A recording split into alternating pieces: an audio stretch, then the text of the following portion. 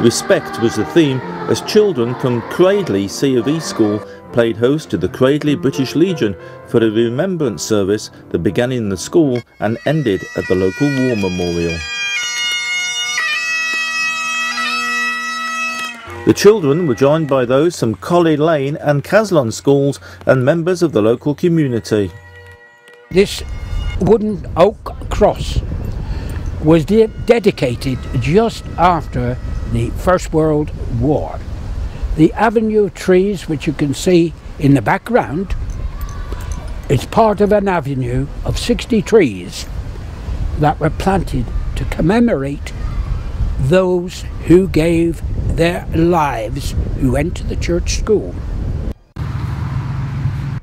At the War Memorial, pupils laid poppies, each cross bearing the name of a former pupil of the school who served in World War One.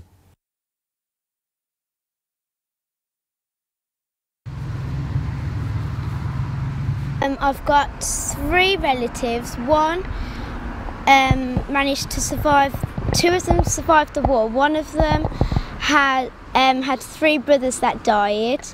The other one managed to survive but died of a heart attack, and the third one got blown up on the beach, but he has no known grave. So, what do you think is important that we remember people today? Because they fought for our country. They may have not wanted to, but they fought for our country just to save us. This is my great great uncle, David Southwick. He was located in the middle of France, but tragically he got run over by a German tank we still remember and have a grave by the big cross in St Peter's Church. Well, it means a lot to me because it means that we can come here every month and like plant flowers or clean it because he gave his life to protect our country.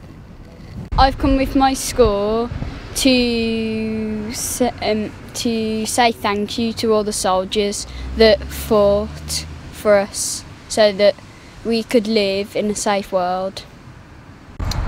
Alfred James Butterworth is my great great uncle who fought in World War One and he has no known grave. We also have Lawson Atwood who's my great great great uncle and he also fought in World War One and has no known grave. Uh, now this morning's service in the school, uh, we've been doing it now for roughly five years and being honest with you, it's always been good. But this morning it was extra special. You could have heard a pin drop at the appropriate times. The children were that well behaved, and it was so.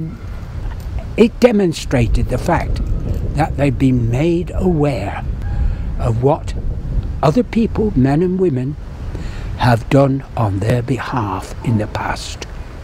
I can only trust that they keep this in their minds and remember what other people have done for them for the rest of their lives.